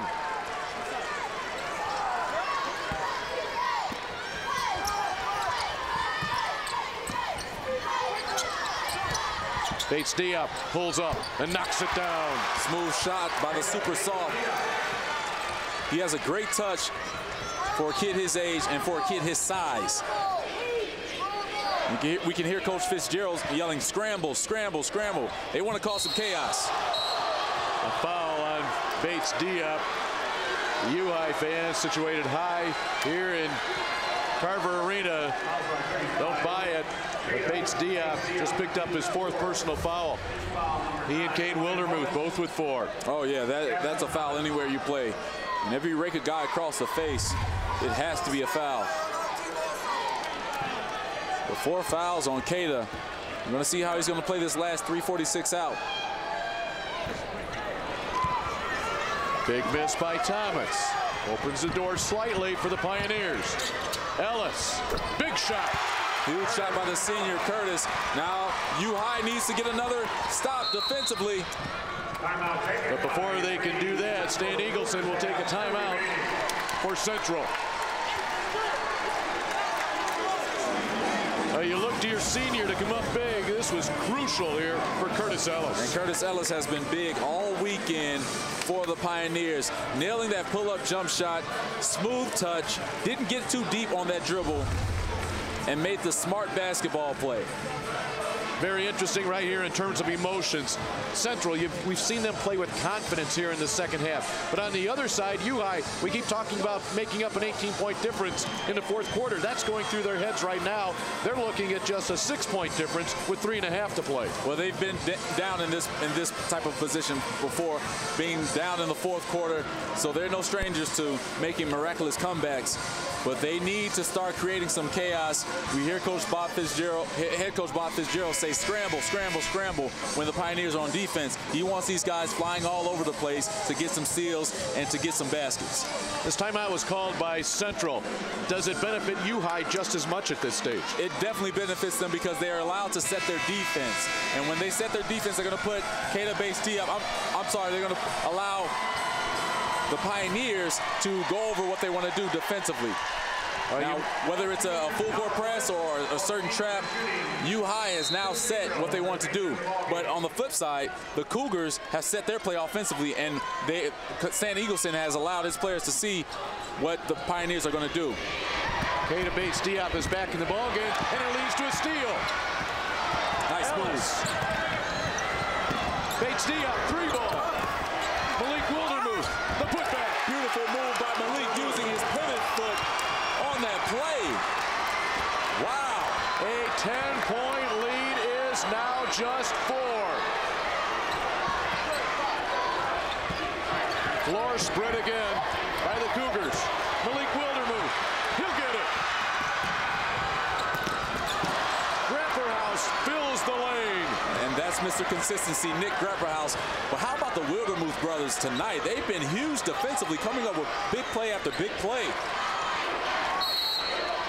Did Grapperhaus get a timeout? He did. They will have one left. Each team with one timeout remaining. Malik Wildermuth sensed Keita Bates Diop there, but he did not see number 13 in a purple jersey, Nick Grapperhaus. Pioneers on a 10-2 run in the last two minutes and three seconds. Coach Fitzgerald has switched up his defenses. First, he was going with a 1-2-2 press, putting Keita Bates Diop on the ball. Now he's falling back to a 1-3-1. But the Cougars have to do a better job of moving the basketball because they're allowing themselves to be trapped. And we saw that a couple of possessions ago for the Cougars. They were trapped in the corner and tried to make a cross-court pass, and there was Malik Wildermuth for the steal. We look in on Stan Eagleson. His 26th season. Up sure. until last night, he had lost five straight games in the state finals. He's looking for a two-game winning streak.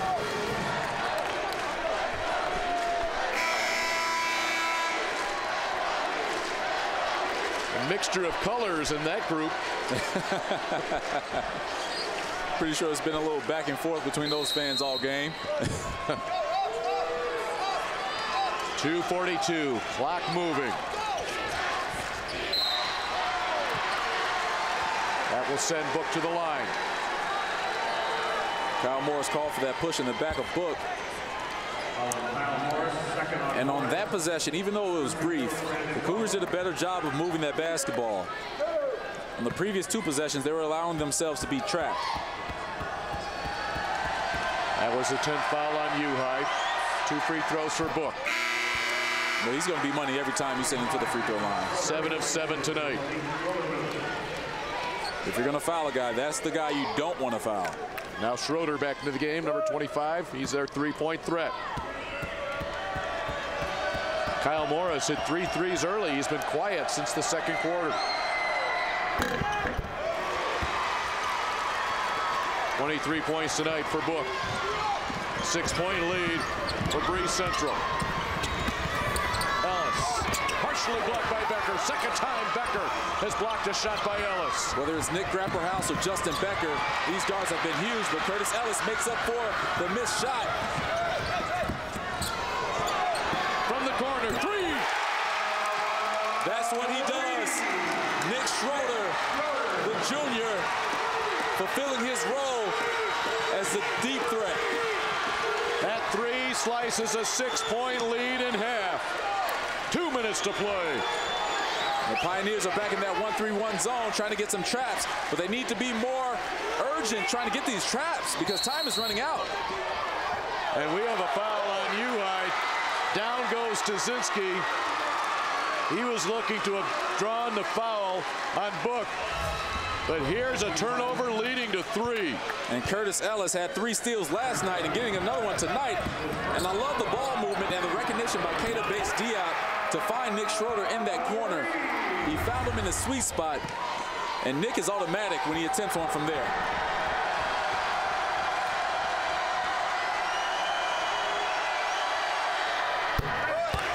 Nine for nine from the line.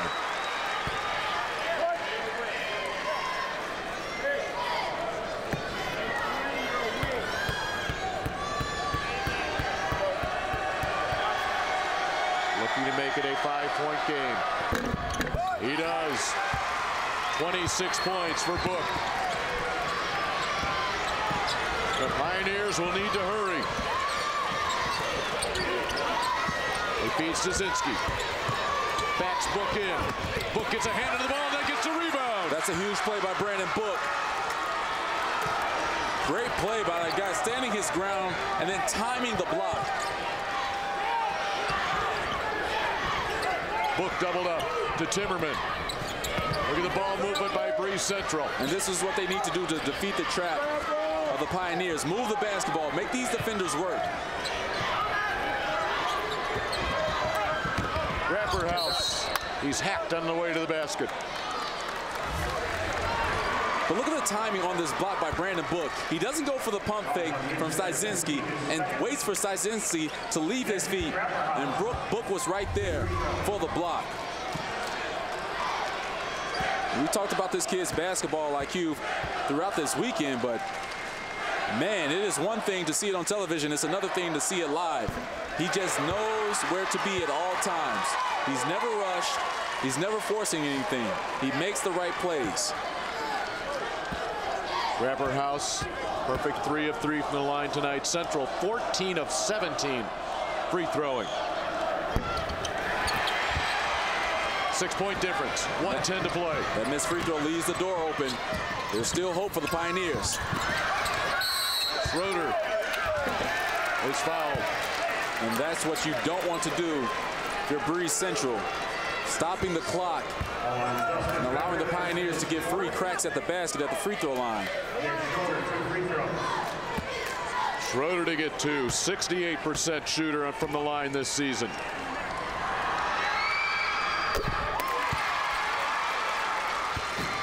Five point difference. 65 seconds to play.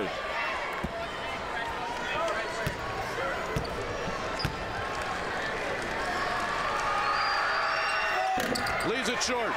Diop off his hands to Morris. One minute left. Styczynski. Book the board. He needs help. He's being trapped. Becker, look out. And that will be a turnover with 47 seconds left. Book 26 points, 11 rebounds, perfect 10 of 10 from the line. And he has his double-double. This kid is a walking double-double anytime he's in the gym. Two-possession game.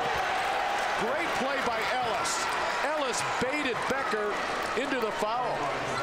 Mental mistake by Justin Becker on that play, and he's fouled out of the game. But look at Curtis Ellis. Sets the bait. Justin Becker takes the bait. Smart move by Ellis. Now he needs to step to this free throw line and knock these shots down. He's only one of four from the line tonight. A 50% free throw shooter on the year.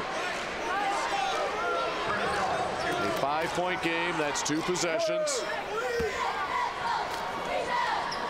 Becker's going to have to do an excruciating thing right now is to watch from the bench. You're not able to help your team. Curtis Ellis stepping up for the Pioneers. I want to see if Bob Fitzgerald is going to extend his defense if Ellis makes this free throw. Ellis now two of five from the line.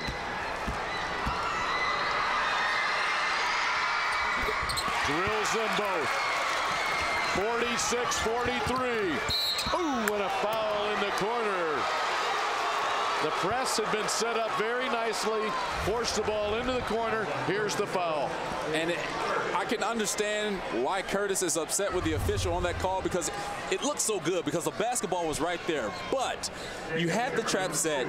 You have your 6'8 sophomore helping you whip the trap. A guy that took one dribble and picked it up. You just want to keep stay within the trap. You don't want to reach and pick up a foul like that to send a guy to the free throw line. 14 of 18 from the line now. Timmerman there for his second time.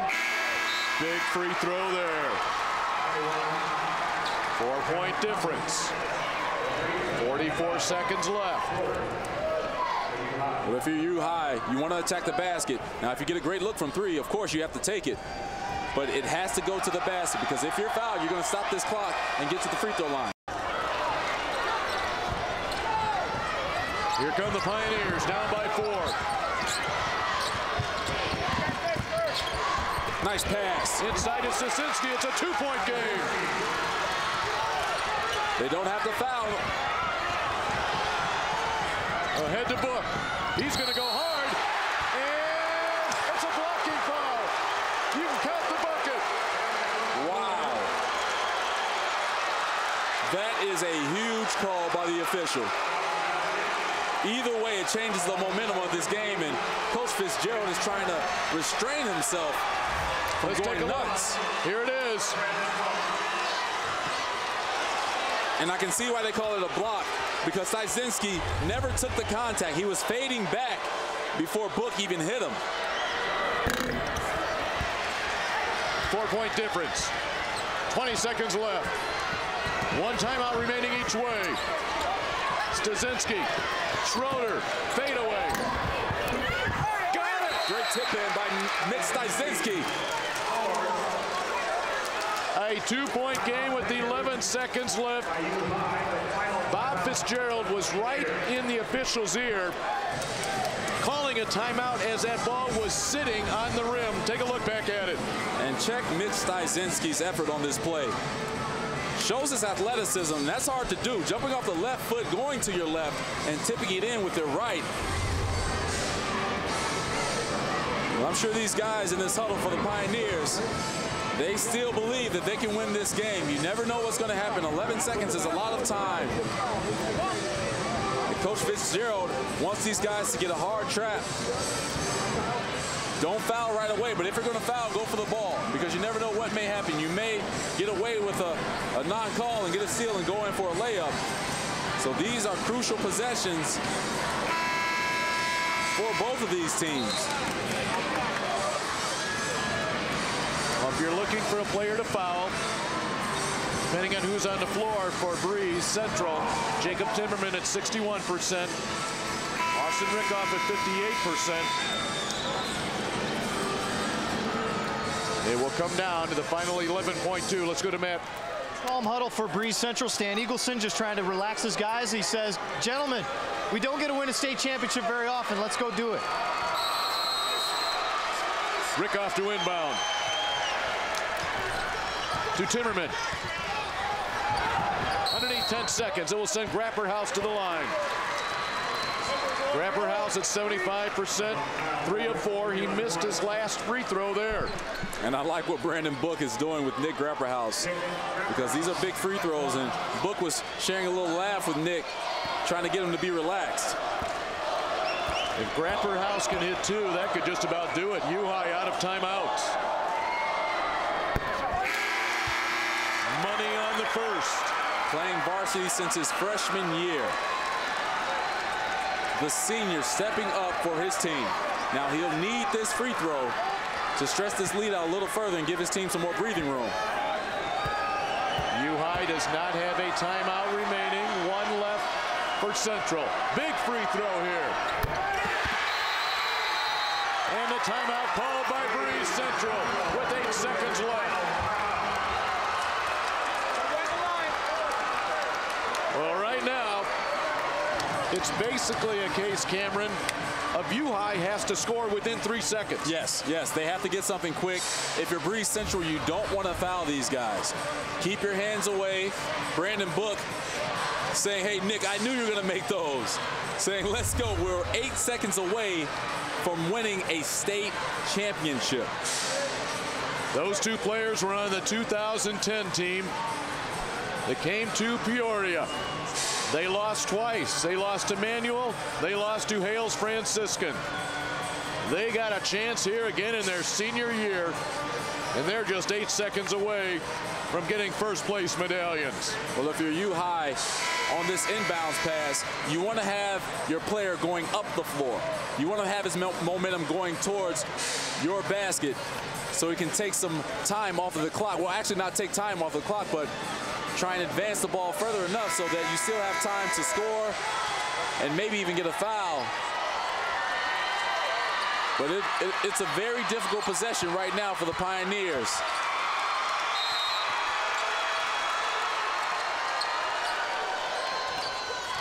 He almost threw it in the bucket.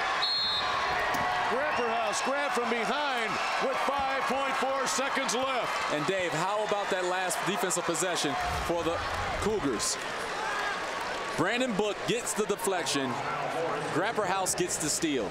Two seniors who have been through the wars throughout four years at Breese Central. And they finish this ball game off for their team, for their school, for their community. Two weeks ago, the Central girls finished second in Class 2A.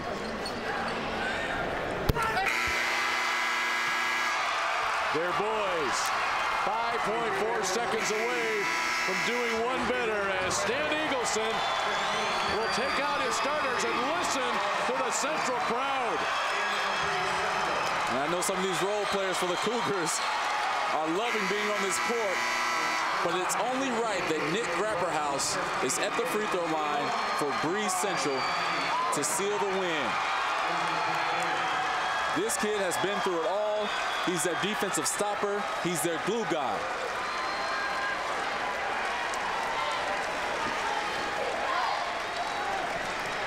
How about that for Book? His last game as a high school player. He's going to leave with 28 points and 11 rebounds.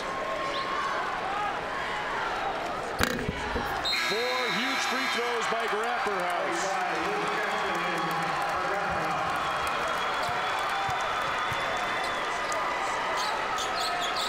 And you have to tip your hats to the Pioneers. They came into this game and gave it their all, just came up short tonight.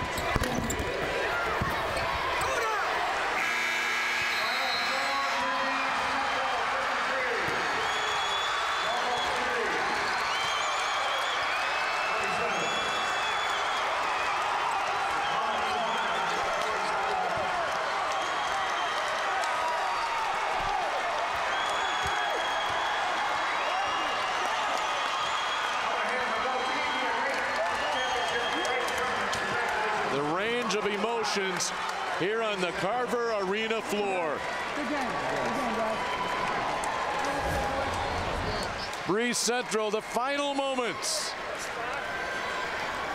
You are the 2012 state champions in Class 2A. First boys basketball championship in school history. The girls won one in 2007. The Cougars finish it up with a 34 and 1 record. They close the season on an 18 game winning streak. Wow. That is huge. Now they have bragging rights over their girls team. I think there'll be smiles all around. U High finishes their year 28 and 5. Miraculous finish in the super sectional to get here. They nearly, nearly were able to pull it off here again tonight. Pioneers fought. You can see the emotions on their faces, but in the end, unfortunately, someone has to win, someone has to lose. And for the Pioneers, they ended up on the losing side, but that team is a very tough team. They have a lot of talent, and I'm sure they'll be back next year. Saw a shot of Bob Fitzgerald moments ago. Fitzgerald, 1992, lost in the state championship game. He loses again here. Let's award our medals, our trophies. Let's go to Paul Herzog for that ceremony. Clock at the school. University High reception, 1 o'clock tomorrow at the school.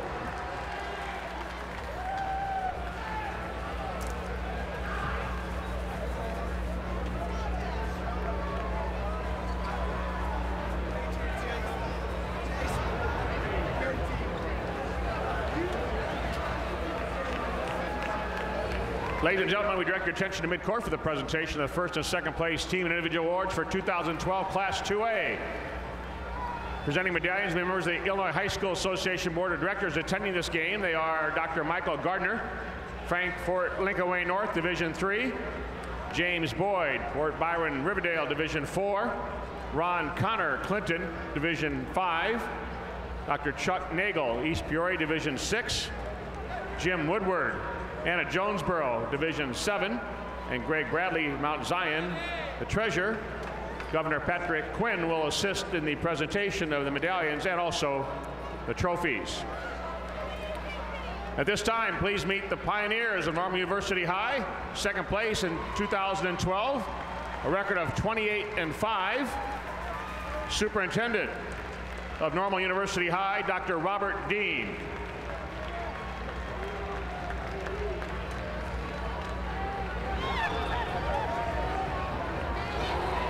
Athletic Director, Wendy Smith. Athletic Trainer, Shannon Falconer. Head Coach, Bob Fitzgerald. Assistant Coach, Terry Lutens. Assistant Coach, Jeff Graham. Assistant coach, Lester Hampton. Assistant coach, Steve Evans.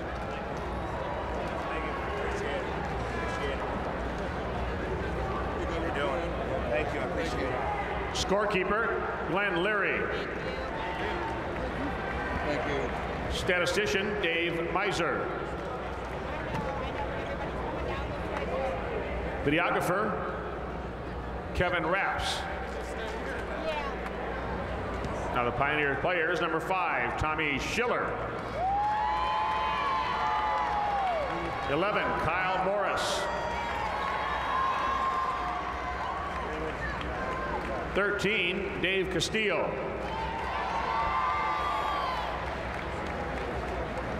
Fifteen, A.J. Bruns. Twenty-one, Brad Dooley. Twenty-three, Malik Wildermuth.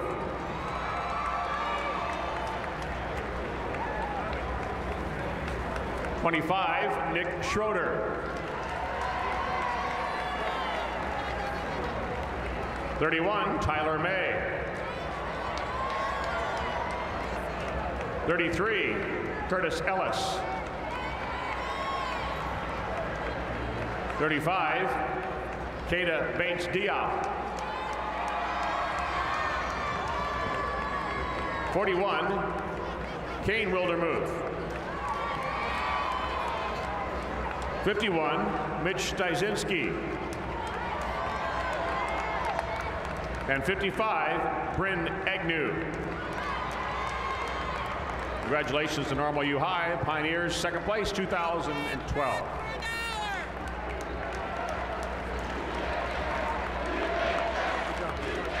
And now let's meet the superintendent, Kevin Meyer of Brim Breese Central.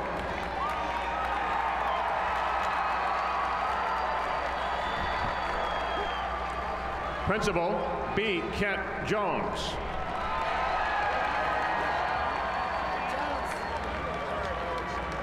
Athletic Director, Alan Warnicki.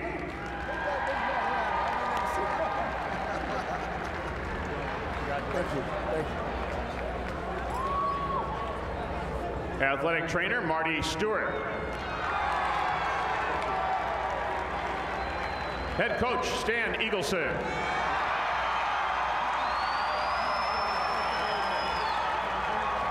Assistant Coach, David Thomas. Assistant Coach, Kurt Peters. Assistant Coach, Jeremy Schubert. Assistant Coach, Donnie Pedersen.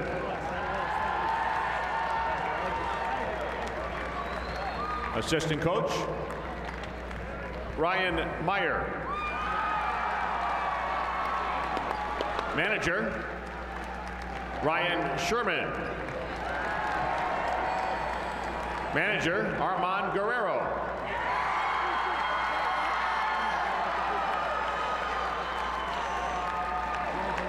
Cougar players, number five, Greg Meyer. 11, Jacob Timmerman. 13, Nick Grapperhaus. 15, Tanner Imming. 20, Justin Becker.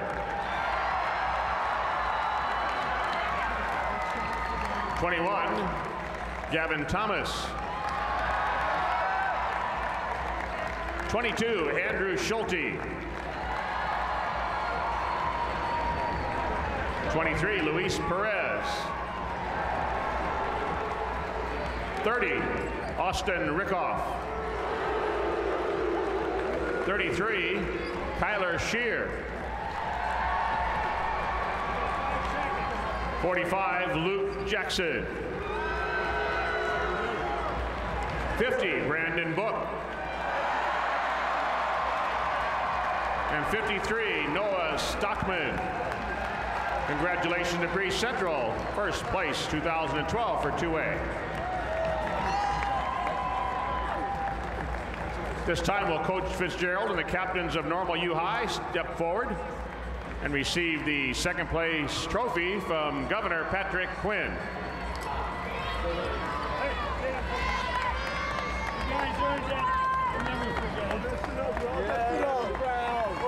Congratulations to Normal U High Pioneers. Now will Coach Eagleson and the captains of Breese Central step forward and receive from Governor Quinn the first place trophy 2A 2012.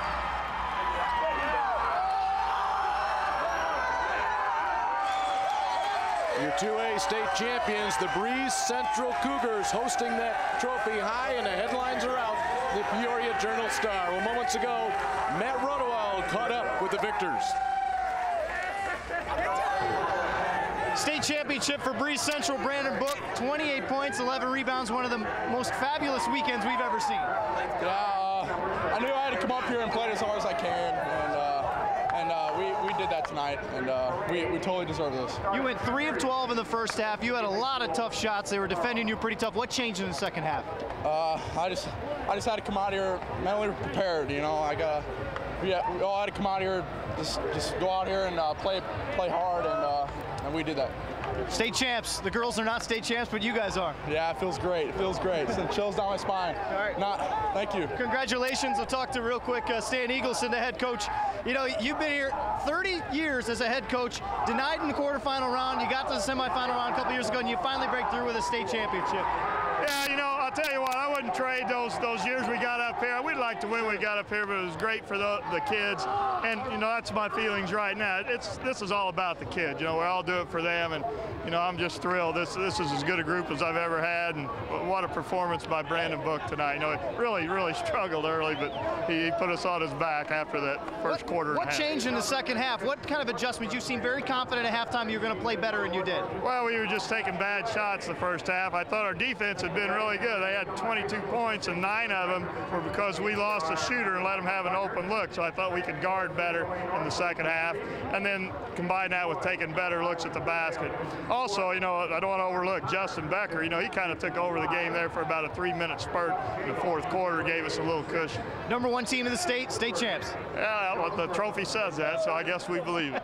well, we say it too. Stan Eagleson, the head coach of Breese Central. He's been coaching for 30 years, a long time to wait to get to the state championship game, and he's a state champion tonight. And as he said, that trophy that has a one on it proves they are number one. Thanks, Matt.